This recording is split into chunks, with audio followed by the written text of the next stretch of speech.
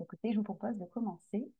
Euh, ben, Rebonjour euh, et bienvenue à toutes et à tous. Merci de vous joindre à nous en si grand nombre pour euh, un de nos multi-conservations mensuelles organisées par le réseau des milieux naturels protégés. Donc, euh, pour ceux et celles dont c'est la première participation, vous remarquerez qu'il est impossible pour vous d'ouvrir votre caméra et votre micro. Donc, durant toute la présentation, merci d'utiliser uniquement la boîte questions et réponses pour poser vos questions. Donc, cela permettra de tout regrouper au même endroit et les questions seront adressées à la conférencière à la fin de la présentation. Donc aujourd'hui, nous avons la chance de recevoir euh, Audriane Loisel, qui est stagiaire postdoctorale à l'Université Laval et détient un doctorat en sciences biologiques de l'Université de Montréal. Spécialisée dans les milieux humides, elle travaille sur la conservation et la restauration de ces écosystèmes avec un focus sur les services écologiques et la biodiversité. Depuis 2023, elle participe au projet RARE, qui vise à optimiser les techniques de végétalisation des milieux humides restaurés. Forte de son expérience avec diverses organisations environnementales comme le Centre régional de l'environnement de, Laval, la firme Essor Environnement ou encore le ministère de l'Environnement, le MECCFP, elle est ici aujourd'hui pour nous parler avec toute la passion qu'elle a pour la communication scientifique des approches innovantes en conservation et restauration des milieux humides. Donc, Audriane, bienvenue. Merci beaucoup d'être présente. Je te laisse la parole et je vous souhaite à toutes et à tous un excellent euh, webinaire. Merci beaucoup. Bonjour tout le monde. Vous allez voir mon merveilleux fond d'écran avant que je vous partage la présentation. Oui, c'est mon chat. Donc, euh, euh, ça, on va essayer de faire en sorte que ça s'en aille. Il me semble qu'il y a une façon de faire. Ah ah, voilà. Donc, super. Merci tout le monde d'être euh, là ce midi là, pour euh, plonger avec moi là, dans la conservation et la restauration des milieux humides, un sujet qui me passionne tout particulièrement. Donc, au menu ce midi, euh, je vais commencer par me présenter un petit peu plus formellement, chose que j'aime faire avant toute présentation, histoire de vous donner une idée du parcours qui soutient les idées que je vais présenter. Ensuite, je vais en entrée, vous proposez un petit portrait de la situation des milieux humides avec un accent sur euh, la conservation et la restauration. Puis, on va passer au plat principal. Donc, on va parler des enjeux et des pistes de solutions en conservation euh, pour aller vers le dessert qui va être la restauration. Et finalement, je vous propose un petit digestif. Là. On va parler ensemble du, du projet RAR. Je vais vous présenter un peu ce projet-là. Donc, en gros, euh, la passion que j'ai pour les milieux humides, elle prend ses origines et elle s'exprime à travers trois sphères principalement. Comme euh, l'a dit Nelly, euh, moi, je suis biologiste de formation. Donc, j'ai un bac maîtrise doc en sciences biologiques et j'ai fait ma maîtrise et mon doctorat sur différents aspects de la conservation des milieux humides, de leur biodiversité à leurs fonctions et services écologiques en passant par les impacts des changements climatiques. Et présentement, je suis stagiaire postdoctoral à l'Université Laval et je travaille sur la restauration. Donc, c'est vraiment les deux sujets qui ont été au centre de mes huit dernières années en recherche. Euh, ce qui a vraiment bonifié mon parcours, euh, c'est justement les expériences professionnelles que j'ai eu la chance de vivre à travers des partenariats, à travers des emplois que j'ai réalisés pendant mon, euh, mon parcours académique. ça m'a permis notamment de me familiariser avec la délimitation et la caractérisation des milieux humides, qui est une étape charnière dans le processus de conservation puis de restauration de ces écosystèmes-là. Euh, tout ça, j'apprécie beaucoup le partager à travers toutes sortes d'activités de communication scientifique dans tous les formats, puis devant des publics assez variés. Euh, autant j'aime les milieux humides pour leur diversité, autant j'aime la communication scientifique pour les mêmes raisons. On peut y faire toutes sortes de choses et j'essaie toujours à travers de mes activités de communication de sensibiliser les gens aux enjeux en lien avec les milieux humides parce que c'est selon moi la problématique numéro un en conservation. C'est que Beaucoup de gens ne savent pas c'est quoi un milieu humide, ne savent pas à quel point ils sont importants et ne savent pas non plus qu'ils sont protégés par la loi. Donc, il y a souvent un déclic qui se fait là, quand, quand je fais des activités de communication et c'est vraiment un moteur pour moi. Donc, avant d'entrer dans le vif du, sujet aujourd'hui, je me suis dit que j'allais faire le point avec vous euh, parce qu'on m'a dit que ça pouvait être toutes sortes de publics qui allaient être présents aujourd'hui, des néophytes allant jusqu'aux praticiens. Et là, j'ai vu qu'il y avait des gens du ministère, des gens de Canard Limité qui étaient dans les participants. Je suis désolée, je pense pas que je vais vous apprendre grand-chose aujourd'hui. Donc, euh, je me suis dit qu'on allait commencer par la base euh, et qu'on allait revoir ensemble des petits concepts. Donc, très rapidement, les milieux humides, qu'est-ce que c'est? C'est des écosystèmes euh, qui euh, sont saturés d'eau assez longtemps pour que ça ait une influence sur leur sol et sur leur végétation. Donc, c'est vraiment euh, le- la Sainte Trinité là, des milieux humides, le eau, sol, plante. L'eau, c'est le chef d'orchestre. C'est lui qui c'est elle qui va affecter la sélection des plantes qui sont résistantes aux inondations et la modification des processus de transformation de la matière dans le sol.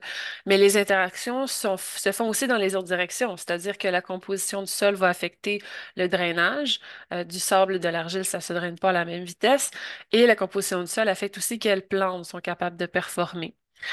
De la même manière, les plantes vont affecter le bilan hydrique dans un milieu humide et vont affecter aussi les processus qui ont lieu dans le sol. Donc, ce cocktail eau plante sol, c'est vraiment ce qui est nécessaire à la formation et au maintien des milieux humides dans l'espace et dans le temps.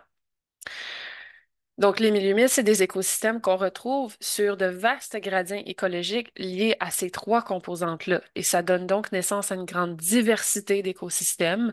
Et au Canada, en général, on va les classer en cinq grandes catégories. Les bogs, les fens, les marécages, les eaux peu profondes et les marais.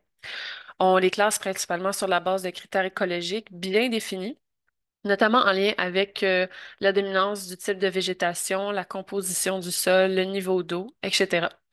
Et la classification des milieux humides, c'est un sujet qui m'intéresse tout particulièrement dans mes recherches et sur lequel vous allez voir, euh, en fait, qu'il y a une grande importance en conservation. Euh, on va en parler plus loin dans la présentation, à quel point ça joue un rôle primordial. Et donc, euh, cette grande diversité-là des milieux humides, ça, ça, ça en fait aussi les écosystèmes qui nous offrent la plus grande quantité et la plus grande diversité de fonctions et de services écologiques. Euh, rapidement, les fonctions écologiques, ce sont des processus qui gèrent des flux de matière dans un écosystème. C'est par exemple le recyclage des nutriments ou le stockage de l'eau. Tandis que les services écologiques, c'est les biens que nous, les humains, on retire de la nature euh, et qui émanent des fonctions. C'est par exemple la qualité de l'eau qui émane du recyclage du nutriment ou la protection contre les inondations qui émane du stockage de l'eau euh, accompli par les milieux humides. La différence, c'est que pour parler de services écologiques, on doit avoir une demande humaine. Et c'est pour ça que souvent, je vais parler de fonctions et de services, euh, parce que la terminologie est parfois un petit peu compliquée et euh, parce qu'on considère que c'est pas parce qu'il n'y a pas d'humain pour profiter d'un écosystème qu'il n'est pas pertinent de le conserver. Donc, on parle souvent aussi en conservation de fonctions euh, davantage que de services. Malgré leur importance disproportionnée, les milieux humides, ça reste les écosystèmes qui subissent les taux de perte et de dégradation les plus élevés au monde. On les perd trois fois plus vite que nos forêts et euh, depuis le début de la colonisation du continent américain, on estime avoir perdu de 21 à 87% de la superficie mondiale. Oh, c'est variable hein, comme chiffre. Euh, en fait, c'est que euh, il y a plusieurs études qui sont pensées sur la question à l'aide de différentes approches et je vous rassure, la, la méthode la plus fiable avec les jeux de données les plus extensifs et euh, l'analyse la plus poussée nous rapproche davantage du 21% que du 87. Donc, c'est quand même un peu rassurant, mais c'est euh, non négligeable. Et euh, évidemment, ça varie entre les régions du monde. Et quand on se compare, on se console dans une certaine mesure, parce que le Canada a perdu peu de milieux humides comparativement à d'autres pays européens, comme l'Irlande ou la Hongrie, qui sont plus dans l'ordre du 90% On s'entend que c'est énorme. Par contre, ça varie entre les régions. Donc, dans les basses terres du Saint-Laurent, on, estime avoir perdu environ 42% de la superficie initiale de milieux humides. Et dans les grands centres urbains, ben, c'est davantage de l'ordre du 90% Et du 10% qu'il nous reste, il y en aurait à peu près 80% qui est perturbé par des activités humaines. Donc, c'est quand même non négligeable. Et la principale cause du déclin des milieux humides, c'est l'agriculture et de loin. Parce que les milieux humides se forment sur des terres qui sont très fertiles de par le fameux cocktail eau plante sol qui va affecter les processus de transformation de la matière. Et au Québec, c'est aussi l'agriculture et la sylviculture qui euh, sont les principales causes de perturbation des milieux humides et non pas la construction de tours à condos comme on a tendance à le croire, puisque c'est ce qui est davantage médiatisé. Pour la simple raison que C'est ce qu'on voit en tant que communauté, en tant que société, parce que la majorité des gens vivant dans les grands centres urbains, ce sont ces perturbations-là qu'on voit, euh, tandis que nos territoires agricoles sont moins habités, donc on a moins conscience des impacts euh, à ce niveau-là. Donc, face à tout ça, on n'est évidemment pas resté les bras croisés et on s'est doté de euh, plusieurs outils légaux pour protéger les milieux humides. Et là, j'entrerai pas dans les détails de, les détails, pardon, de l'historique de l'évolution de la loi euh, sur la conservation des milieux humides, Notamment parce que euh, il y a un autre webinaire des Midi Conservation qui s'est attardé à cette question-là. Donc, si la question vous intéresse, euh, je vous invite à aller l'écouter. Et donc, l'essentiel de ce qu'il faut retenir, c'est que si on veut réaliser des travaux, des constructions ou toute autre intervention dans un milieu humide ou hydrique, c'est important de comprendre que la loi euh, concerne les milieux humides et les milieux hydriques, donc cours d'eau et lacs. Ben, si on veut faire ça, il faut en demander la permission au ministère via la demande d'un certificat d'autorisation.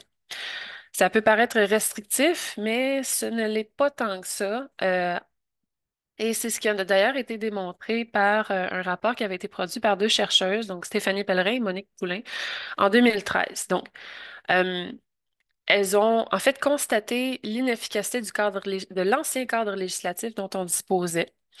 En gros, ce qu'il faut comprendre, c'est que depuis 2006, on avait euh, un système qui nous fait passer par une séquence dite éviter, minimiser, compenser. Donc, on doit prouver, euh, on, on doit répondre aux questions, est-ce que je suis capable d'éviter les perturbations? Sinon, ben, est-ce que je suis capable de minimiser mon impact? Et sinon, ben, je vais devoir compenser.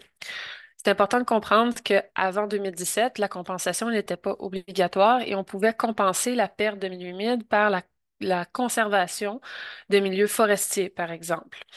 Ce qui a fait en sorte, en sorte, pardon, qu'entre 2006 et 2010, des 2870 hectares de milieux humides impactés, seulement 15 avaient été compensés par de la création et de la restauration de milieux humides, ce qui nous menait à 99% de pertes nettes en superficie. Et c'est entre autres ça et d'autres voix qui se sont élevées qui ont amené la réforme de la loi en 2017 vers un objectif de zéro perte nette. Donc ici, on est venu rendre la compensation obligatoire et ça se fait principalement par le paiement de cotisations monétaires vers un fonds qui est dédié à financer des activités de restauration et de création de milieux humides. Et ça, on pourrait en parler longtemps et je suis sûre que ça en chatouille plusieurs d'entre vous, Euh, mais on va y revenir dans la section où on va parler de la restauration. Donc ça, c'est pour vous donner un- un- une idée de ce qu'on ce qu'on a en matière de protection de nos milieux humides. C'est important de comprendre aussi que tout ça, ça se passe à l'échelle provinciale parce que c'est à cette échelle-là qu'on protège les milieux humides au Canada. Mais il y a présentement des discussions pour mettre sur pied une politique nationale de gestion des milieux humides. Et ça, c'est une, une initiative qui s'appelle la Canadian Wetland Roundtable. Et ça rassemble des gens de différents niveaux de gouvernement, des OBNL, des entreprises privées, puis du milieu académique. Et euh, le but, c'est de partager sur ce qui se passe à travers le pays pour cibler des enjeux adressés, identifier les bonnes idées, les bons coups à implanter ailleurs, mais aussi identifier des erreurs à ne pas reproduire. Donc, en novembre dernier, j'ai participé à une de ces rencontres-là et c'était extrêmement enrichissant de comprendre les différents enjeux à travers le pays puis comment cette législation-là s'exprime différemment. On est pire que certaines provinces, mais on est meilleur que d'autres. Et mondialement, ben, on peut penser à la COP 15 qui s'est déroulée euh, il n'y a pas trop longtemps à Montréal, au cours de laquelle on a adopté 23 objectifs, dont deux qui nous concernent directement aujourd'hui. Donc, on s'est engagé à conserver 30% des écosystèmes planétaires et à restaurer un autre 30% des écosystèmes dégradés. Donc, ce sont des préoccupations, la conservation et la restauration, qui se font à plusieurs échelles. Donc, comment est-ce qu'on arrive à atteindre ces objectifs ambitieux? Bien, un des outils dont on s'est doté avec la, nouvelle mouture du cadre législatif, ce sont les PRMHH, probablement mon acronyme préféré. Donc, ce sont les plans régionaux des milieux humides et hydriques. Et c'était mandataire pour chaque MRC de réaliser ces plans-là suite à l'adoption de la loi. Donc, chaque MRC était responsable d'évaluer en fait euh, la présence de milieux humides, d'intérêt, le- le- le- les endroits propices à la restauration notamment. Et le but de ça, c'était de mieux connaître leur territoire pour mieux planifier l'aménagement afin de prévoir des développements plus sensés. Et ça, en fait, pardon, ça a représenté un défi colossal. C'est une grosse commande pour des MRC qui n'ont pas nécessairement les effectifs ou les expertises à leur disposition pour réaliser ça. Donc, ça a demandé des collaborations assez euh, imposantes. Et c'est un peu de ça qu'on va parler aussi. Donc, euh, des enjeux qui sont liés à la conservation sous le thème du qui, quand, où, quoi, comment. Euh, donc, la première chose qu'on va aborder, c'est le qui. Euh, qui est-ce qui est responsable de la conservation des milieux humides? Je vous l'ai dit tantôt, c'est le MEL-CCFP et par la bande, les MRC via les PRMHH. Ça fait beaucoup d'acronymes, on lâche pas, ça vient de commencer. Il va en avoir beaucoup, c'est comme ça, euh, dans le milieu des milieux humides, on a beaucoup d'acronymes. Donc, outre les instances administratives, la conservation des milieux humides, c'est aussi assuré par le travail de nombreux organismes à but non lucratif qui sont d'ailleurs derrière beaucoup de processus d'acquisition de propriété pour la mise en conservation. Euh, donc, il y a un travail de communication, de sensibilisation et de paperasserie qui est réalisé par les OBNL qui est essentiel pour faire avancer la conservation des milieux humides. C'est aussi l'affaire du secteur privé euh, via un grand nombre de firmes euh, qui sont engagées afin de réaliser des travaux de délimitation et de caractérisation des milieux humides qui sont une étape clé dans le processus de demande de certificat d'autorisation. C'est d'ailleurs un travail que j'ai moi-même fait dans, le cadre d'un emploi que j'ai fait avec une firme. Donc, ce travail-là, il est aussi essentiel. Et tout ça, ben, euh, c'est aussi euh, alimenté par des activités de recherche, donc dont l'objectif est d'informer sur la planification de l'aménagement euh, et pour guider euh, l'adoption de nouvelles politiques de protection puis des, des, approches plus optimisées. Donc, c'est un peu ce que moi, je me situe un peu plus dans cette case-là. Et tout ça, ben, c'est aussi l'affaire des communautés. Les communautés sont responsables d'élire leurs représentants politiques ils peuvent interagir avec les OBNL pour en apprendre plus sur les milieux humides dans leur territoire. Ils peuvent engager des firmes pour euh, euh, les aider à mieux gérer leurs propriétés. Et bien, leurs taxes financent une partie de nos activités de recherche. Donc, autant les milieux humides sont au service de la collectivité, autant la collectivité, elle aussi, peut être au service de la conservation des milieux humides. Et cette figure-là m'amène à vous parler ensuite du quand, de la temporalité de la conservation des milieux humides. C'est quoi le lien? Ben, c'est qu'une telle interconnectivité des parties prenantes de la conservation, ça vient avec une certaine lourdeur administrative. Et donc, un processus de demande de CA, par exemple, ça peut prendre plusieurs mois avant qu'on ait des réponses. Et en général, donc, c'est très long.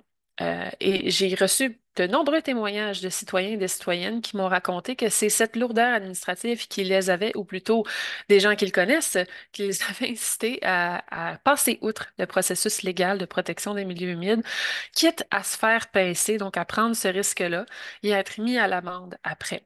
Parce que oui, le ministère peut sanctionner les personnes euh, ou des entreprises après coup et demander la remise en état des milieux qui ont été impactés. Là, ce que je vous montre ici, c'est euh, des petits bijoux là, que j'aime voir sur LinkedIn de la page Environnement Québec qui va euh, énoncer en fait des contrevenants qui ont été attrapés la main dans le sac et qui vont donc nommer le nom des entreprises, le nom des personnes, les montants qui sont nécessaires là, pour afficher ben, comme quoi le ministère travaille justement à attraper les gens qui euh, contreviennent à la loi. Par contre, des milieux humides détruits illégalement, il y en a beaucoup. Ça, ce sont les chiffres que, les chiffres qu'on a en 2018 et 2022 des milieux humides détruits illégalement dans différentes régions du Québec. Ce sont des mètres carrés. Et deux choses. La première, c'est que c'est difficile de savoir quelle quantité de ces euh, destructions illégales ont été sanctionnées. Et aussi, ça ne compte pas toutes les pertes qu'on n'arrive malheureusement pas à quantifier parce qu'on ne sait pas avec précision où se trouvent les milieux humides sur notre territoire. Ça m'amène donc à vous parler de la question du où. Où sont les milieux humides? Est-ce qu'on le sait? La réponse est pas. Euh, et parce que pour le savoir, on a plusieurs approches sur lesquelles on peut se baser. Il y a principalement deux types d'approches. Il y a les approches cartographiques par télédétection et photo-interprétation euh, qui euh, ont donné naissance notamment à la cartographie des milieux humides potentiels du MLCCFP à grande échelle. Et à la cartographie détaillée euh, des humides de Canard Illimité Canada, qui est réalisée aussi avec le ministère, plus dans les basses terres du Saint-Laurent. Et ces, euh, ces approches-là vont se baser donc sur des données cartographiques. Euh, tandis qu'on peut aussi faire des sondages terrain. Donc, ce sont les fameuses firmes privées dont je vous parlais tout à l'heure qui vont envoyer des biologistes sur le terrain qui doivent suivre une méthode standardisée qui est exigée par le ministère pour caractériser et délimiter les milieux humides. Donc, ça se fait à beaucoup plus petite échelle, ces projets-là. Les approches cartographiques ont donc pour avantage de se faire justement à plus grande échelle, mais elles vont souvent être moins précises parce que ben, les produits cartographiques ne sont pas infaillibles. Euh, soit on va euh, se tromper dans la délimitation, soit on va se tromper dans la classe de milieu humide, soit on va dire qu'il y a des milieux humides là où il n'y en a pas, ou même, et ça c'est le plus grave, ben, on ne va pas en détecter là où il y en a. Ce qu'on est capable de faire mieux, du moins, avec les approches terrain. Euh, toutefois, les données issues euh, des approches cartographiques, elles, elles sont accessibles à tous, mais les données issues des sondages terrain, vu que c'est des gens qui payent pour les avoir, mais c'est leur propriété. Donc, on n'a pas accès à ces données-là. Ça reste de l'ordre du privé. Donc, il y a des plus et il y a des moins aux différentes façons de cartographier nos milieux humides. Donc, euh, si c'est plus précis, pourquoi est-ce qu'on ne fait pas l'approche terrain partout? Ben, parce que ce serait comme pas envisageable à l'échelle du Québec. Ça coûte cher parce que ça prend une grande expertise, c'est compliqué, c'est long. Euh, il faut avoir euh, des connaissances poussées en botanique, en hydrologie, en pédologie. Il faut avoir, oserais-je dire, une bonne forme physique aussi pour faire ça. Et aussi, c'est une compétence qui est peu commune. C'est pas quelque chose qu'on enseigne dans le cursus des baccalauréats en biologie. On apprend souvent sur le tas. Donc, on se fait engager et c'est au moment où on est engagé qu'on apprend. On fait des formations et ça ne s'apprend pas en criant ciseaux. Donc, je vous parle par expérience. Il faut de l'expérience. Il faut répéter souvent pour qu'on devienne bon à faire ce travail-là. Et la méthode, en plus d'être compliquée, ben, elle n'est pas infaillible, dans le sens où c'est pas comme un ingénieur qui va calculer mathématiquement la portance d'un pont. Un milieu humide, c'est un écosystème qui est dynamique. Ça bouge, ça évolue. Et donc, en fonction de l'année, mais en fonction du moment de l'année aussi où on va échantillonner, on peut observer des choses différentes. Si on envoyait 10 biologistes délimiter le même milieu humide, on aurait probablement 10 délimitations différentes. Et un bon exemple de ça, euh, un exemple qui va probablement vous parler, c'est celui du terrain visé par Nordvolt pour la construction de leur usine. Donc, sur le même terrain, il y a eu deux demandes de projets différents qui se sont faits à différentes périodes. Euh, l'une s'est fait, euh, a, mené une caractérisation entre 2019 et 2021 que vous voyez en rouge assuré, et l'autre a été réalisée en 2023 que vous voyez en bleu mauve ici. Et vous voyez qu'il y a des disparités assez importantes. Il y a des millimètres qui n'ont simplement pas été détectés par une entreprise versus l'autre. Euh, et ces différences-là s'expliquent par tous les facteurs que je vous ai énumérés, notamment. Et ça nous amène à nous poser des questions sur la fiabilité du processus qui est censé être le plus fiable qu'on a pour cartographier nos milieux humides. C'est difficile. C'est, on ne se le cachera pas, c'est pas une tâche simple. Je tiens à mentionner que cette carte-là, elle a été réalisée par Martin Patnaud de Moned, qui est un, euh, journaliste euh, qui fait des BD reportages, euh, qui s'intéresse notamment beaucoup à ce dossier-là de, de Nordvolt et qui a récemment sorti un livre, un BD reportage qui s'appelle Un sacrifice naturel que je vous recommande chaudement. Bon, tout n'est pas perdu, tout n'est pas sans espoir parce qu'il y a quand même de plus en plus de recherches qui se fait sur la cartographie des milieux humides. Ici, c'est une revue de littérature qui a recensé les travaux de recherche réalisés exclusivement au Canada. Et on voit qu'il y a un engouement là, qui, qui, se fait. Et en 2020, on avait 30 papiers qui ont été publiés seulement sur la cartographie au Canada. Les pourcentages de précision des outils cartographiques augmentent. Et je sais que présentement, Canon Limité Canada commence à, travailler à une nouvelle mouture de leur cartographie. Donc, ça va être super intéressant de suivre l'évolution de ça euh, dans le futur. Toutefois, il y a certains angles, morts pardon, qui demeurent, euh, même avec des approches de modélisation poussées. On a encore de la difficulté à différencier des milieux humides sur sol minéral, donc des marais et des marécages, par exemple, de milieux humides sur sol organique, comme des tourbières. Il y a une étude qui a été publiée en 2019, donc c'est quand même assez récent, qui a essayé de faire ce travail-là avec 13 variables à haute résolution et un modèle statistique très performant. Ils ne sont arrivés qu'à 69% de précision de classification. Donc, on voit ici que les distributions entre euh, minéral et organique sont très similaires. Donc, euh, c'est pas facile. Euh, et ce pourcentage de précision-là, c'est à peu près le même que notre équipe a obtenu dans une étude qu'on a réalisée sur 56 milieux humides de la région de Québec. Donc, on a utilisé les données de cartographie de Canal Limité et on a identifié 56 de ces milieux-là qu'on est allé échantillonner sur le terrain. Et on s'est rendu compte que dans 33% des cas, la classe à laquelle avait été identifié le site n'était pas bonne. Les erreurs, ils se produisent surtout entre certaines paires de sites. Donc, on se trompe davantage entre les bugs et les fans parce que, ben, pour les classer, souvent, euh, on- va se baser sur des trucs qui sont difficiles à cartographier, comme le pH puis la dominance de certaines espèces végétales. Et on se trompe aussi beaucoup entre les tourbières boisées et les marécages parce que pour les différencier, ben, il faut savoir l'épaisseur du dépôt de matière organique, ce qui est très difficile comme information à avoir au niveau cartographique. Donc, Là, peut-être que vous posez la question, OK, mais c'est quoi l'importance de ne pas se tromper de classe? Ah, C'est quoi l'importance de la classification des milieux humides en lien avec la conservation? Ben, en fait, c'est lié directement à la question du quoi. Euh, donc, euh, en conservation, on vise tous d'identifier des milieux d'intérêt. Donc, il faut répondre à la question, c'est quoi un milieu d'intérêt? Parce qu'il n'y a pas juste une bonne réponse, ça dépend de nos objectifs de conservation qui peuvent varier entre les régions notamment. Par exemple, à Sainte-Marthe-sur-le-Lac, probablement que la protection contre les inondations, c'est une priorité majeure pour la population. Tandis qu'à Montréal, la protection contre les îlots de chaleur, c'est probablement ça qui est très, très central. Euh, ce qu'on doit alors viser, c'est de faire coïncider l'approvisionnement en service à la demande en service. Et ça, ça nécessite de quantifier euh, la demande, de quantifier l'approvisionnement, mais aussi de considérer la distribution spatiale d'un service. Par exemple, la protection contre les inondations, c'est généralement assuré par les systèmes qui se trouvent en amont des zones de demande, donc à l'échelle d'un bassin versant. Tandis que la protection contre les îlots de chaleur, c'est un service à distribution très locale. On n'en profite pas si on habite à 20 km d'un milieu humide. Donc, quantifier tout ça, ça demande une considération de tous ces éléments-là de façon simultanée pour plusieurs services écologiques.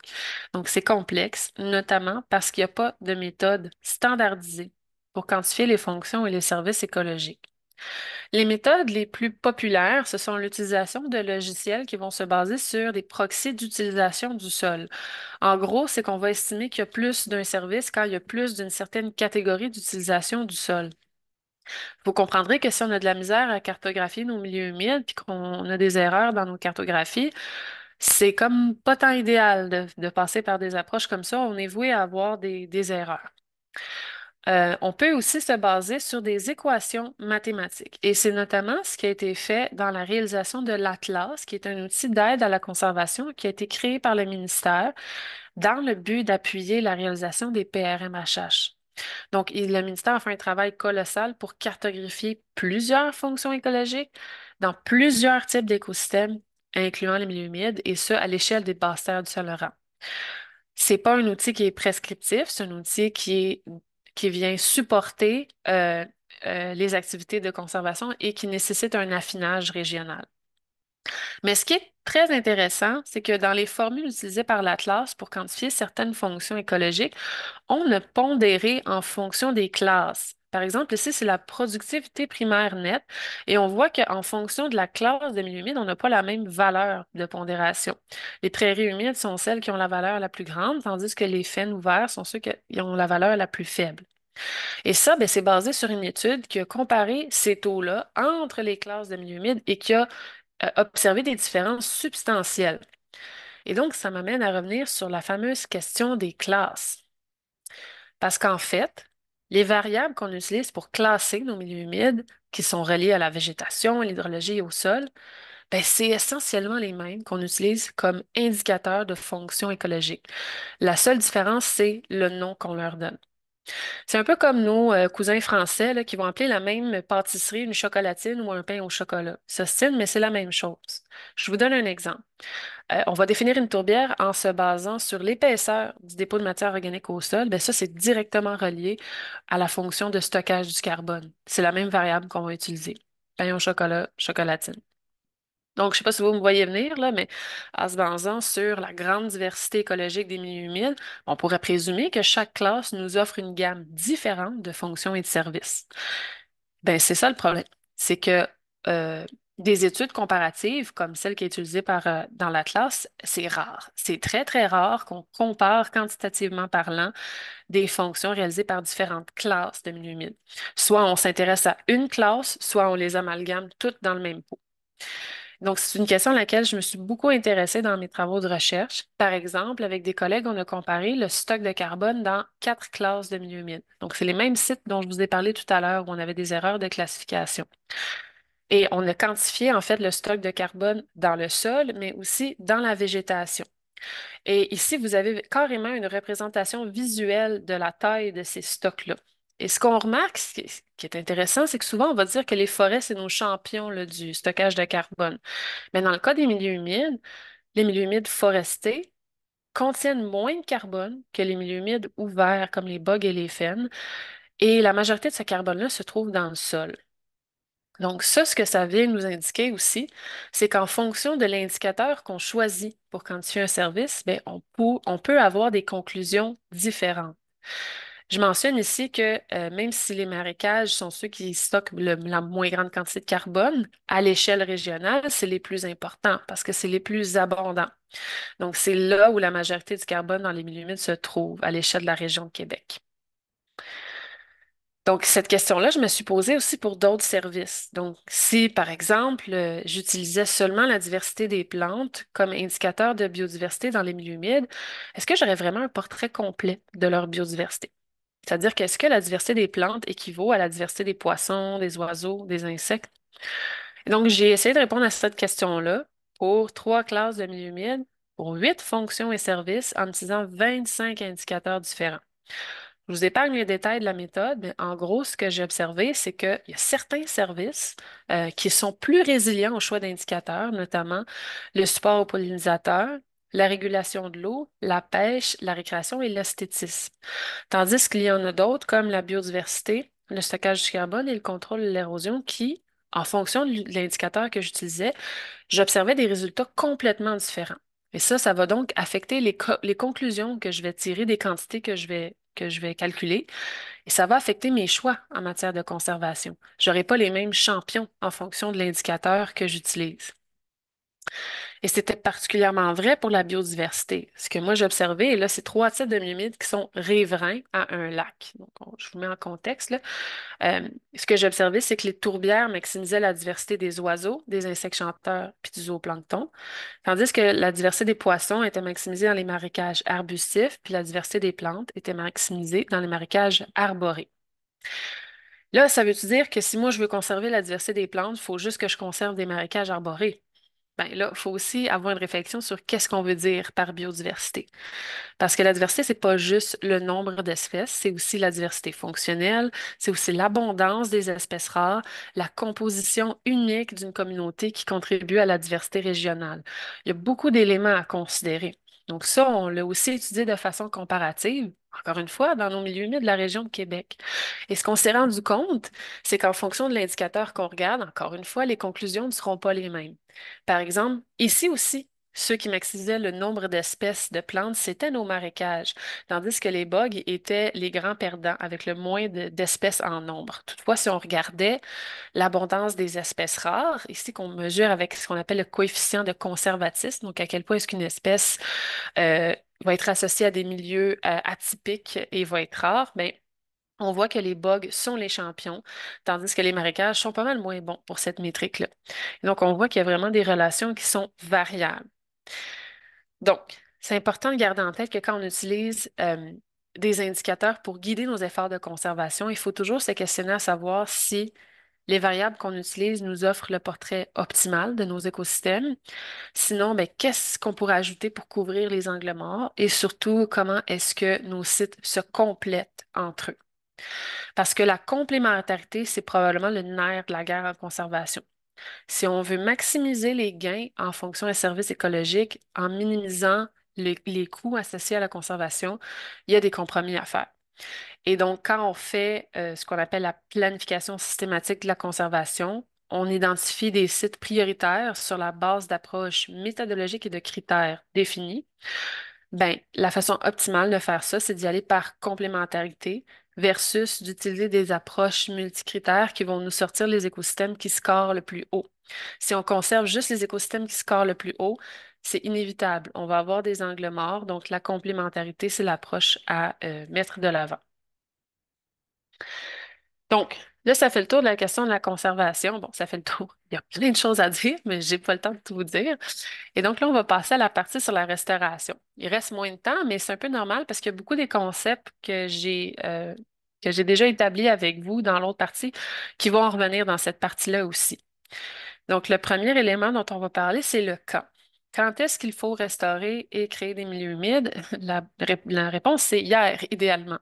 C'est-à-dire qu'on a pris beaucoup de retard depuis l'adoption de notre nouveau cadre législatif de zéro perte nette. Donc, le fameux fonds vert dont je vous parlais euh, tout à l'heure, il se remplit et il ne se vide pas très vite. En 2021, on avait accumulé 75 millions de dollars pour faire des projets de compensation et on en avait utilisé environ 0,6 En 2022, c'est passé à 100 millions et on en avait utilisé 2,6% Et en 2028, c'était 116 millions, puis on en avait utilisé 2 là, je pense que tout le monde se pose la question, qu'est-ce qui se passe? Pourquoi ça bloque? Pourquoi l'argent rentre mais sort pas? Et je vous rassure, pourtant, il y a un engouement euh, grandissant et pour la restauration. On veut restaurer, on veut créer des milieux humides. Le ministère veut accélérer la cadence. Tout le monde est au rendez-vous. Donc, qu'est-ce qui bloque? Ben, c'est plusieurs choses. C'est de savoir qui le fait, où est-ce qu'on le fait, qu'est-ce qu'on fait, puis comment on le fait. La première question de savoir de qui, ben, c'est ça émane aussi d'un angle mort de la loi. C'est-à-dire qu'il y a un détachement entre les personnes responsables de la dégradation des milieux humides et celles responsables de leur création. Donc, une autorisation de détruire, ça vient avec du financement pour restaurer, mais aucune responsabilité ni garantie de réalisation de projet. Euh, parce que réaliser des projets comme ça, ça demande une expertise diversifiée qui n'est pas nécessairement très commune. Et donc, de mettre ça sur les épaules des promoteurs, c'est pas très viable comme, euh, comme euh, possibilité. Ça ne nous offre pas une garantie que de bons projets seraient mis sur pied nécessairement. Au Québec, quand même, il faut noter qu'on est des experts mondiaux de la restauration des tourbières grâce notamment aux activités du groupe de recherche en écologie des tourbières. Euh, beaucoup de ce travail a été fait par Lynn Rochefort à l'Université Laval et on est reconnu mondialement pour ça. Il y a d'autres types de milieux humides pour lesquels on a beaucoup moins d'expertise. Par exemple, les marais et les marécages, on fait beaucoup moins de recherches là-dessus. Il y a toutefois euh, des entités comme Canard Limité Canada, qui est responsable de la cartographie, mais qui ne fait pas que ça. Ils font aussi de la restauration des milieux humides. Puis c'est un peu un, chef de file euh, en Amérique du Nord en cette euh, matière-là. Toutefois, ce n'est pas une entité de recherche. Canard Limité Canada, ils sont dans l'action, donc ils n'ont pas le temps de publier, ils n'ont pas le temps de faire des suivis, donc on manque aussi de données sur les travaux qui sont réalisés. donc la diffusion des connaissances reste encore un peu difficile. Donc là, on peut baser ça aussi sur des entités comme la Society of Ecological Restoration, qui est une entité euh, internationale qui rassemble des gens en restauration de partout à travers le monde, mais pas que sur les milieux humides. Donc, il y a du monde qui travaille là-dessus. On a une expertise qui est en train de se développer. Ça, c'est rassurant. Euh, ensuite, il y a la question du où. Parce qu'on ne peut pas créer des milieux humides n'importe où. D'abord, on a besoin de s'assurer que les conditions écologiques du site soient propices au maintien dans le temps du projet. Si les conditions ne sont pas présentes initialement, ben déjà, il faut planifier leur mise en place et surtout leur maintien. Et ça, c'est davantage complexifié par la gouvernance, parce qu'on doit respecter les plans d'aménagement des villes, on doit respecter le zonage, on doit respecter la réglementation, et ça devient rapidement un grand casse-tête euh, d'insérer ces projets-là dans les différentes réglementations des villes. Et finalement, ben, les projets s'insèrent aussi dans des communautés qui euh, ont des besoins. Donc, il faut encore une fois arrimer l'offre et la demande, mais aussi gérer l'acceptabilité sociale, le, désir ou non, l'absence de désir des gens de voir ces projets-là à proximité de, leur milieu de vie. Donc, tout ça, ça vient réduire fortement euh, la fenêtre des opportunités en restauration. Donc là, où est-ce qu'on va? Ben, il y a plusieurs options. On peut agrandir des sites existants, donc saisir des opportunités déjà présentes dans notre paysage. Un exemple de ça, tout près de chez moi, moi j'habite à Repentigny, c'est euh, le marais du Ruisseau de Feu à Terrebonne, qui en fait, il y avait déjà un, complexe de milieu qui était existant, mais on est venu l'agrandir par la construction d'une digue qui est venue bonifier l'habitat de la faune et de la flore. On a notamment fait une passe à poissons. Ça a beaucoup augmenté l'habitat de la perche. C'est un projet d'ailleurs qui a une intégration aussi de, composantes là, de, de récréation pour profiter de ce paysage-là. Puis chaque fois que je passe à côté, il y a des gens qui, qui font du birding puis toutes sortes d'activités. Donc, des opportunités comme ça, c'est bien, mais c'est rare. Donc, ça prend un milieu humide qui est déjà beau, qui est bien placé. Donc, il faut que toutes les étoiles s'alignent aussi. Puis ça demande une grande euh, coordination. On peut aussi euh, miser sur le reméandrage des cours d'eau linéarisés en milieu agricole, parce que dans certains cas, on peut revenir en arrière. Et c'est d'ailleurs ce qu'ont montré Jean-Philippe Marchand et Pascal Biron de l'Université Concordia, qui ont étudié l'hydrologie de plusieurs cours d'eau qui avaient été linéarisés en milieu agricole et se sont rendus compte que euh, le comportement de la nappe phréatique était différent dans les anciens méandres qu'à l'extérieur. Donc, on avait un potentiel de ramener la présence de ces méandres-là si on les aide à revenir, notamment par la modification de la taille d'un ponceau ou le coupage stratégique de certains drains agricoles. Dans les basses terres du Saint-Laurent, c'est plus de 30 000 km de cours d'eau qui sont linéarisés. Mais euh, il y a une gouvernance qui est très complexe en territoire agricole. Et euh, donc, le grand défi, c'est la pérennisation de la protection des sites restaurés, notamment en raison de la Commission de la protection du territoire agricole du Québec, la CPTAQ, un autre acronyme. On lâche pas. Euh, dans le fond, la CPTAQ souhaite éviter le morcellement du territoire agricole et c'est très louable comme entreprise. Mais ça, ça fait en sorte que euh, on ne peut pas, par exemple, racheter la portion de la terre qu'on voudrait euh, pérenniser pour la conservation. On ne peut pas non plus modifier le zonage de agricole vers conservation en raison de cette loi-là. Donc, euh, une des solutions, c'est faire le versement de servitudes aux propriétaires pour compenser les pertes de production encourues. Par contre, euh, ce n'est pas couvert par le fameux 116 millions de dollars du ministère, donc il faut trouver d'autres leviers financiers pour aller euh, sécuriser ces acquis-là. Ce que ça fait, c'est que lorsque les propriétaires vont vendre leurs terres, ben, il y a toujours un risque de voir s'envoler les efforts accomplis. La bonne nouvelle, c'est que c'est un angle mort qui est vu, connu de toutes les parties prenantes en restauration et tout le monde travaille à trouver des solutions euh, à cette, à cet enjeu-là parce qu'il y a du potentiel dans nos milieux agricoles. On peut aussi euh, essayer de rescaper des milieux envahis par les espèces exotiques envahissantes comme le phragmite, qui est probablement la plus connue. Euh, mais là, ici, j'apporte un gros bémol parce qu'il faut beaucoup se, faut vraiment se poser la question de la nécessité de réaliser ces travaux-là, surtout de leur pérennité. Euh, c'est-à-dire que si on règle le problème de façon localisée, est-ce que le risque de réenvahissement est là? Par exemple, est-ce que le site est connecté à un autre milieu où il n'y aura pas d'actions qui seront prises? ce qui pourrait entraîner la recontamination dans les années à venir du site restauré? Est-ce qu'on a vraiment une restauration qui va être pérenne dans le temps? Ou est-ce que c'est pas plutôt un coup d'épée dans l'eau? C'est pas toujours le cas, mais il faut se poser ces questions-là avant de sortir à grands coups de centaines de milliers de dollars la machinerie pour venir enlever du fragmite, par exemple. Donc, parce qu'il faut considérer les coûts de ces travaux-là. C'est pas toujours le choix le plus optimal. Puis, en même temps, c'est pas nécessairement pas un gain en superficie. On vient juste rétablir un milieu dégradé qui était déjà présent. En fait, ben, on peut créer des milieux humides de toutes pièces à partir de rien. Ça existe, ça aussi. Euh, et euh, c'est un travail qui nécessite une expertise très diversifiée, notamment de l'ingénierie, de l'hydrogéomorphologie, de l'administration, de la biologie, de l'écologie. Bref, euh, c'est, quand même assez complexe. Et sur les photos, ce que vous voyez ici, c'est le ruisseau Sainte-Barbe qui a été créé de toutes pièces euh, sur le territoire de la ville de Québec. Donc, plutôt que de remplacer une conduite souterraine qui commençait à être trop petite pour le débit qui était envisagé, on s'est dit, on va faire un gain en capital naturel, puis on va à la place créer un cours d'eau de toutes pièces, qui- ce qui va créer aussi un habitat faunique et floristique intéressant. Donc ça, c'est des photos de la, dans le même été de l'évolution du site. Donc ça, c'est pas après des années. C'est le même été, quelques semaines après la réalisation du, projet. C'était l'an dernier, ça. Et cette année, c'est encore plus euh, impressionnant, la reprise de la végétation qu'il y a eu. Ça reste des projets qui sont très chers. On parle de centaines, voire de millions de dollars pour faire des projets qui ont des superficies qui ne sont pas nécessairement euh, extensives. Et beaucoup des coûts sont associés à l'acquisition des terrains. Parce que si on veut pérenniser, il faut acheter le terrain. Euh, et ça, ça implique donc euh, beaucoup d'argent, surtout quand on est dans les grands centres urbains. Ensuite vient la question du, du quoi. qu'est-ce qu'on doit restaurer? Ben, on a parlé tantôt des différences entre les classes de millimitres qui ne nous apportent pas les mêmes fonctions et services.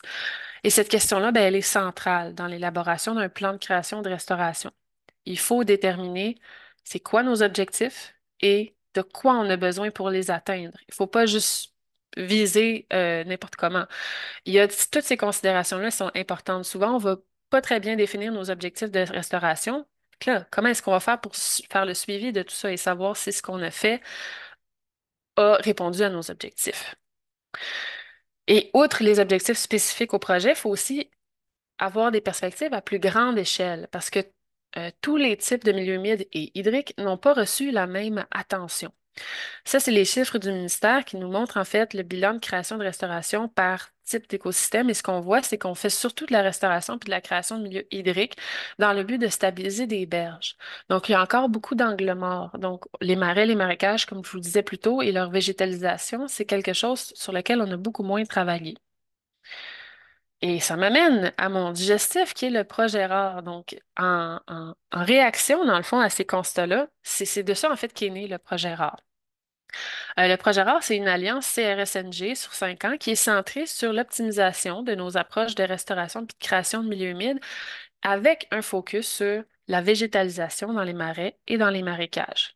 Donc, c'est le premier projet de recherche de ce genre-là au Canada qui rallie euh, en fait les plus grands acteurs du milieu, comme Canard Limité Canada, le ministère de l'Environnement, Hydro-Québec, mais aussi des firmes privées qui ont des expertises en hydrogéomorphologie comme Fluvio ou des pépinières comme Gloco et plusieurs municipalités aussi.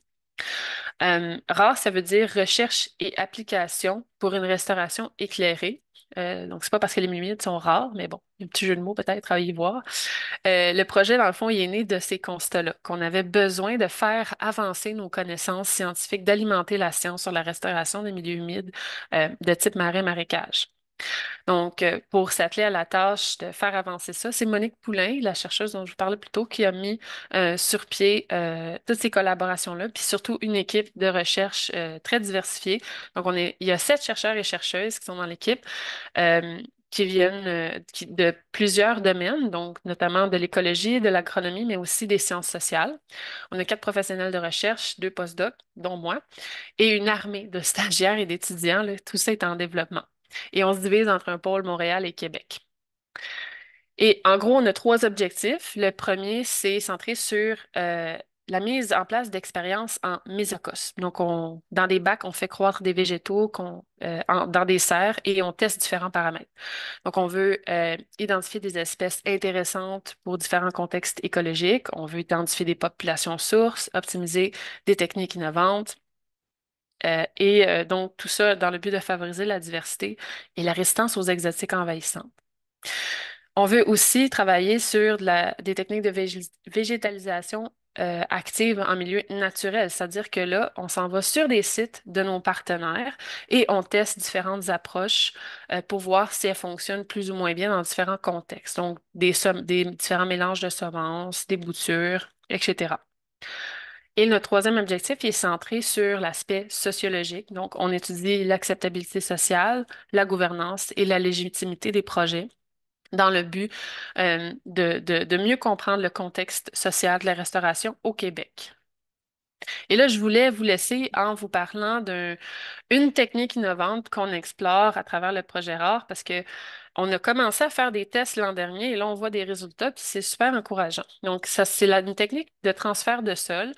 En gros, ça consiste à euh, prélever du sol dans un écosystème en santé et à le transplanter euh, dans un écosystème qui a besoin d'être restauré. C'est un peu comme un don d'organes. Donc, on va aller chercher le sol qui est rempli de graines de rhizomes, donc de propagules, et qui contient justement de la matière, euh, un substrat, et on va l'utiliser pour ensemencer en quelque sorte le site récepteur. Et donc, on n'a pas besoin d'acheter de semences et d'acheter de sol, ce qui crée aussi une économie circulaire de la restauration, parce que là, on va chercher du sol dans des écosystèmes qui sont voués à la destruction ou dans des bassins qui seront euh, des bassins de rétention qui vont être récurés. Donc, on essaye de maximiser, d'optimiser en fait les coûts liés à la restauration et d'alléger le fardeau qui pèse sur les pépinières qui, en ce moment, ont beaucoup de difficultés à suivre la cadence qui s'accélère en restauration parce qu'il pourra réussir à faire de la végétalisation active, il faut avoir des endroits où acheter les plantes. Les pépinières, ben, il faut qu'ils les fassent pousser, ces plantes-là. Donc, c'est euh, un peu l'idée derrière ce projet-là. Donc, on cible des communautés euh, d'intérêt. On va récolter des échantillons de sol. Ça ressemble à peu près à ça quand on fait ça sur le terrain. Et là, on va mettre ça dans nos bacs de croissance en serre. On morcelle ça. On met 2 à 5 cm de sol dans des bacs. On arrose abondamment. On n'ajoute pas d'engrais, on n'ajoute pas d'herbicides et on regarde ce qui pousse. Et les résultats sont assez impressionnants. Donc, après quelques semaines, on voit qu'il y a une reprise de végétation de milieu humide qui est euh, substantielle. Donc, il y a toutes sortes de paramètres encore à explorer avec cette technique-là. Et donc, c'est, entre autres, euh, ça fait partie des projets qu'on va faire avancer dans les prochaines années dans, le projet RAR.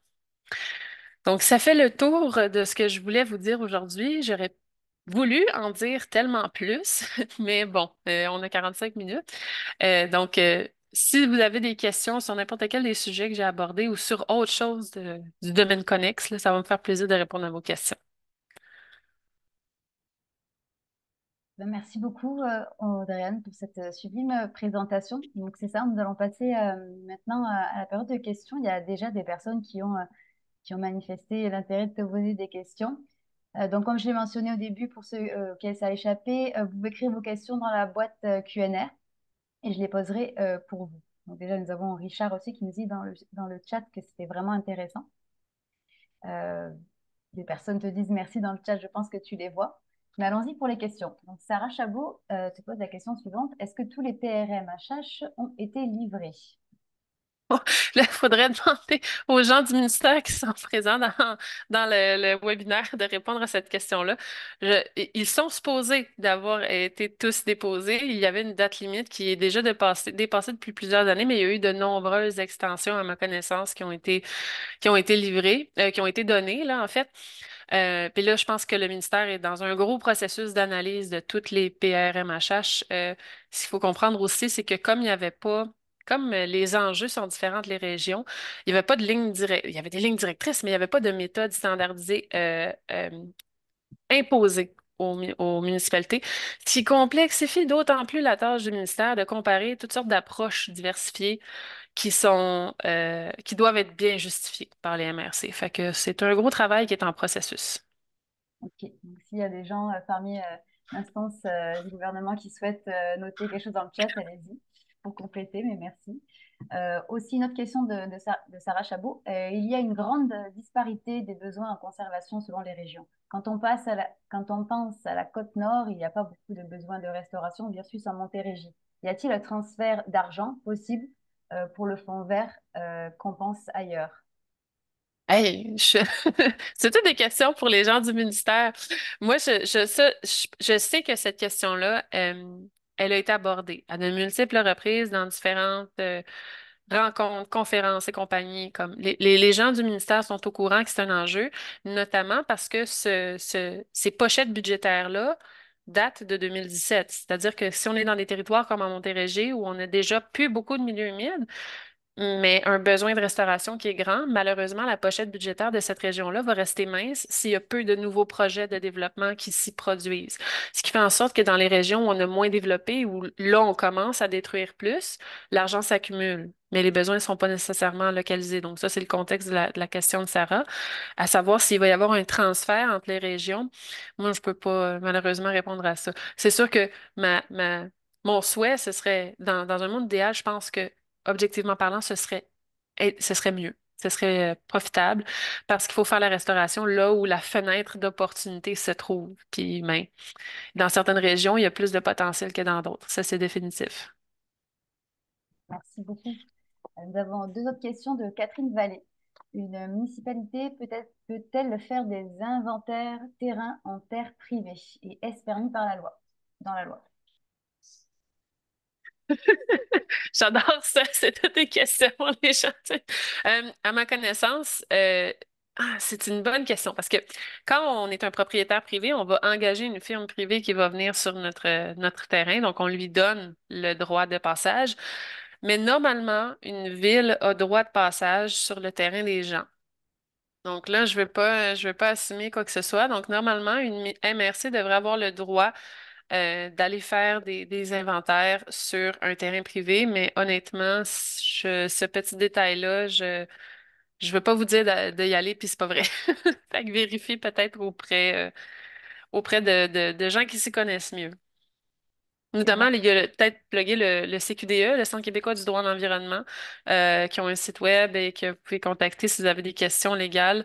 C'est probablement la ressource la plus pertinente. On va aussi de notre côté euh, faire, euh, faire des recherches pour ça. Euh, donc, autre question de, Catherine Vallée. L'Atlas a été publié alors que les objectifs étaient de 17% de conservation en milieu terrestre. Aujourd'hui, les engagements du Québec sont à 30% de conservation et 30% de restauration. L'Atlas n'est plus du tout pertinent. Savez-vous si un nouvel Atlas est en préparation pour les basses terres du Saint-Laurent? Mon Dieu, le prochain coup, je vais inviter quelqu'un du ministère à venir répondre aux questions. Je ne sais pas, honnêtement, si le ministère prévoit faire un nouvel atlas. Je sais que le ministère euh, prévoit travailler notamment à, la, optimiser la les approches de restauration euh, et à s'intéresser davantage à la question des fonctions écologiques puis à leur intégration potentielle, euh, en fait, à l'amélioration de leur intégration dans le cadre de protection puis de restauration des milieux humides à savoir si ça va mener à la production d'un nouvel atlas qui a probablement été un travail colossal là, de, de- d'analyse de données. Je ne saurais dire. Ben, on reste à l'affût. Euh, une question de, de Yasmine Adelantado. Euh, 100 millions, est-ce que c'est une somme raisonnable pour la restauration? Qu'est-ce que ça permet de faire? Ah, quelle bonne question. En fait, ce qui est super intéressant avec cette question-là, c'est que euh, faut considérer l'inflation. Euh, c'est-à-dire que l'argent qui s'accumule depuis 2017 n'a pas la même valeur aujourd'hui en 2024.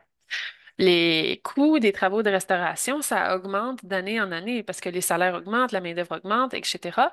Et là, avec une rarification aussi des matériaux végétaux, euh, les coûts, eux aussi, peuvent augmenter. Puis globalement, de, de l'expérience de ce que moi j'ai observé, on n'arrive jamais à financer un projet à 100% avec l'argent du PRC-MHH pour la simple raison que il y a plein de coûts. euh, euh, extra là, qui, vont s'ajouter sur le côté.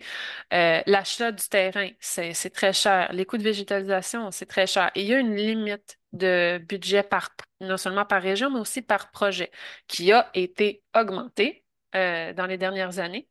Parce que c'était un enjeu, justement.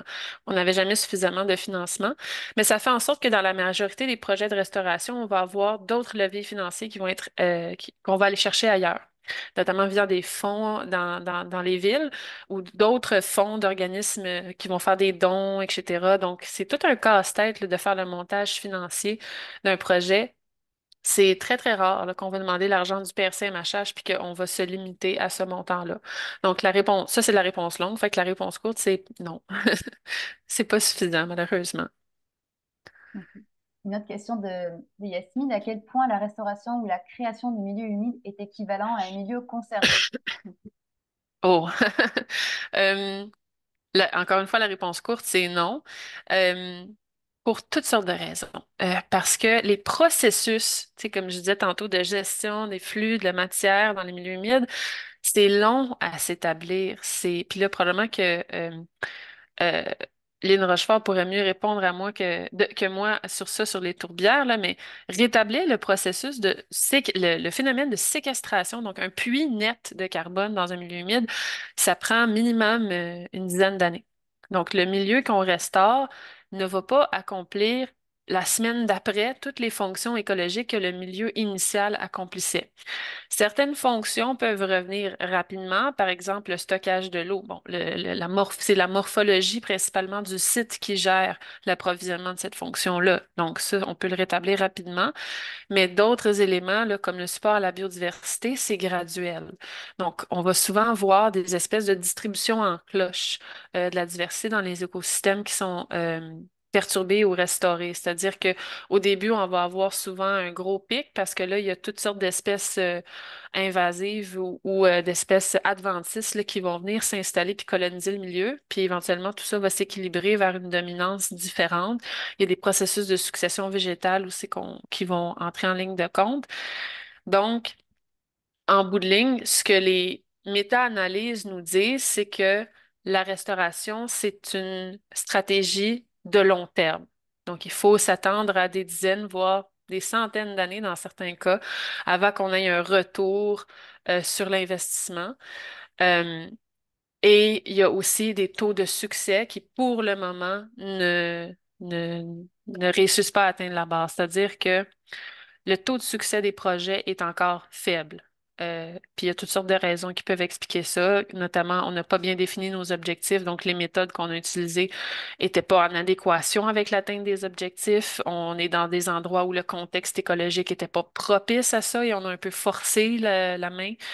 Euh, donc, il y a plein de trucs qui peuvent expliquer justement le, manque de succès des, projets. Et euh, c'est, des sujets sur lesquels on travaille justement dans le projet RAR, d'étudier pourquoi ça marche, pourquoi ça marche pas.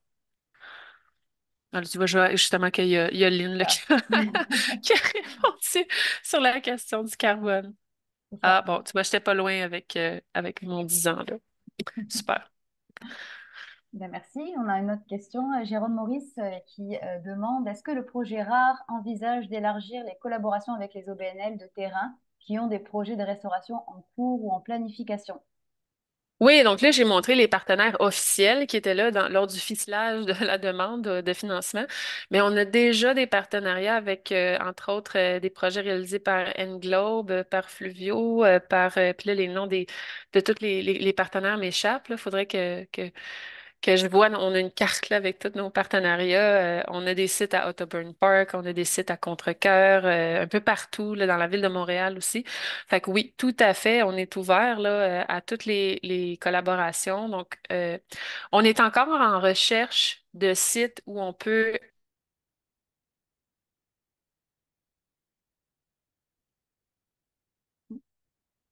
Allô? Non, j'ai l'impression que ça a bugué. Est-ce que quelqu'un peut me dire? mener présenter.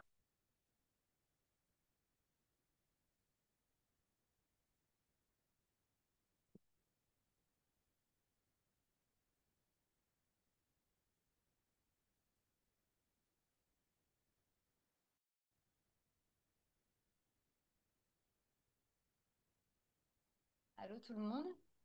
Oui, on t'entend. Je suis navrée, je ne sais pas ce qui s'est passé. Euh, problème de connexion, forcément. Euh, je suis désolée, j'espère que tout le monde n'est pas trop parti. Euh, et du coup, je ne sais plus trop où on en était. Ben, je- la réponse à la question était, était Ok, finie. ok, parfait. Euh, la réponse pour, euh, pour le projet rare, c'est parfait. Puis euh, les personnes qui doivent, quitter ont dit que c'était une super présentation, merci beaucoup. J'ai eu une réponse aussi de Vanessa Vieira qui ont dit que tous les PRMHH ont bien été déposés en date du 16 décembre 2023. Euh, 37 euh, PRMHH ont été approuvés jusqu'à maintenant. Bon, super, merci Vanessa. Je, sa- je savais que je pouvais compter sur quelqu'un du ministère. Nous avons un spectateur, Nini, qui te félicite pour ta, ta présentation, puis qui te pose la question suivante. Quelles sont les options alternatives recommandées pour accompagner les professionnels en environnement et en ingénierie euh, pour aider à accompagner les promoteurs? Attends, peux-tu peux-tu me, me redire ça? Je suis pas sûre que j'ai compris le... Dans- dans- pour le, pour la gestion des milieux humides, euh, comme vous l'avez dit, c'est un phare, comme tu l'as dit, c'est un fardeau. Donc, euh, pour concevoir exécuter des travaux de restauration, euh, c'était difficile quand ça revenait sur les épaules du promoteur. Donc, c'est quoi les options et les alternatives euh, que tu recommandes pour accompagner, euh, euh, pour accompagner les professionnels à accompagner les promoteurs? Ouais, OK, ben c'est ça, mais c'est les collaborations. C'est que la mise sur pied de ces projets-là, ça doit se faire à travers euh, des équipes pluridisciplinaires. Il faut avoir des aménagistes, il faut avoir des urbanistes, il faut avoir des biologistes, il faut avoir des hydrogéomorphologues. Il faut s'entourer de gens qui sont compétents dans différents domaines. On ne pourra jamais avoir une, une personne qui est capable de faire tout ça par elle-même. Donc, ce serait une illusion complètement de se dire qu'on qu'on serait capable à nous tout seuls, de, tant que promoteur, de, de viser quelque chose qui, qui aurait du sens, là. Donc, Mhm, c'est, c'est, c'est, oui, une limitation, mais c'est essentiel. Donc, il y a beaucoup de réflexions.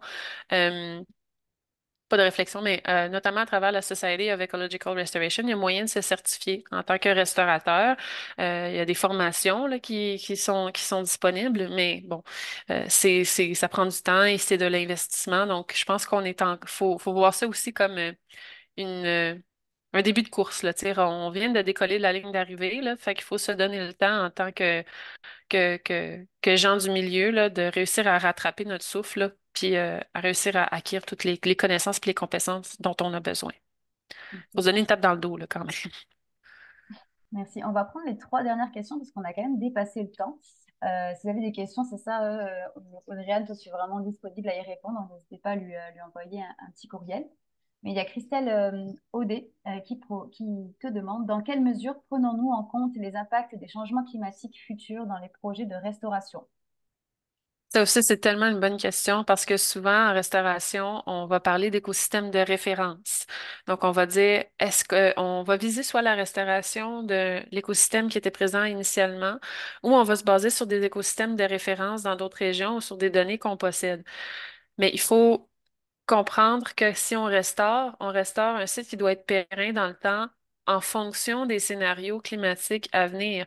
Donc, c'est un peu, euh, je sais plus c'était qui qui m'avait donné cette image-là, mais c'est un peu comme viser une cible en mouvement. Donc, il, faut ajuster le tir en fonction des, euh, des changements qui s'en viennent, notamment en misant sur l'implantation d'espèces qui vont être capables de tolérer des régimes d'inondation plus fluctuants, parce que c'est ce qu'on envisage notamment pour l'hydrologie au Québec. On envisage plus de précipitations avec plus de variations. Euh, donc, il faut, avoir ces, éléments-là en tête, puis penser aussi à des espèces exotiques envahissantes qui peuvent monter du nord vers le sud. Il y a plusieurs espèces qui menacent nos écosystèmes forestiers, d'insectes notamment, qui, arrivent tranquillement, petit à petit. Donc, euh, ça, passe par la compréhension des- de l'écologie fonctionnelle des plantes, notamment qu'on va mettre. Il faut qu'il y ait une, une adéquation entre les conditions qu'on entrevoit pour le site, puis les euh, caractéristiques écologiques des plantes qu'on y met. Merci pour ta réponse. Les deux dernières questions. Euh, plusieurs, euh, Alain Vallière, pardon, nous demande plusieurs classifications des milieux humides sont mis de l'avant avec le PRMHH. La MRC parle de milieux humides en protection, en utilisation durable ou non priorisée. Quant à certaines municipalités parlent de milieux humides d'intérêt supérieur ou d'intérêt général. Pourquoi il n'y a pas d'uniformité? Est-ce qu'une classification qui priorise uniquement les bénéficiaires humains? Euh, En fait, OK, c'est- euh, je pense que c'est plus une nomenclature de, priorisation qu'une classification. Pour moi, la classification, c'est comme on parle de bug, fen et compagnie, c'est basé sur l'écologie. Mais ça revient un peu à ce que je disais tout à l'heure, c'est que comme les enjeux vécus dans les différentes MRC ne sont pas les mêmes, on ne peut pas imposer d'approche. Donc, c'est ce que le ministère a voulu faire avec l'ouverture qu'il a intégrée dans la réalisation des PRMHH, c'est donner l'opportunité d'adapter les approches de priorisation aux enjeux locaux. Donc là, à savoir si chaque MRC a bien fait son travail, moi, je peux pas en juger. C'est des gens comme Vanessa qui font l'analyse de ces documents-là, qui vont juger de la qualité du travail qui a été réalisé et qui, qui, si ce n'est pas le cas, vont pouvoir réagir à ça. Donc, euh, c'est sûr que ce qui a été fait par le ministère, c'est beaucoup d'alimenter les gens qui réalisaient les PRC, les PRMHH pour les outiller à bien développer leur méthode aussi. Donc, il y avait des trucs qui étaient recommandés, mais il y avait d'autres trucs qui étaient plus ouverts. Fait que c'est sûr qu'il faut prioriser des approches qui considèrent l'offre et la demande, mais comme je l'ai dit, c'est compliqué. Fait que probablement que ceux qui ont réussi à bien le faire se sont bien entourés via des partenariats de recherche ou via des collaborations entre plusieurs organismes qui ont alimenté la machine. Comme je, je l'ai dit tantôt aussi, c'est ça, c'est vraiment un travail de pluridisciplinarité qui implique des acteurs de différents milieux. Merci. Allez, dernière question euh, de Jessica euh, Pickford. Bonjour, les milieux humides sont-ils caractérisés par des sous, par des sous-sols particuliers? Je me questionne plus particulièrement sur la relation entre les milieux humides et les sources d'approvisionnement en eau potable souterraine. Euh, s'ils sont caractérisés par ça, en ce moment, les, les Les approches de classification ne considèrent pas la connectivité euh, souterraine. Par contre, euh, souvent, ben pas souvent, en fait, rarement on va caractériser ça parce que ça nécessite, par exemple, de faire des, du forage ou de faire l'installation de puits, euh, de, de piézomètres et compagnie. C'est une autre dimension, l'hydrolo- l'hydrologie des milieux humides.